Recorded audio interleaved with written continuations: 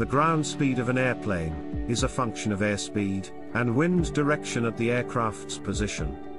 Relative wind speed and direction increase or decrease the ground speed of an aircraft. A triangle of velocities is used to calculate the ground speed. Enjoy the world of aviation with OFLY experiential learning programs, exclusively curated for school students. Visit our website for more.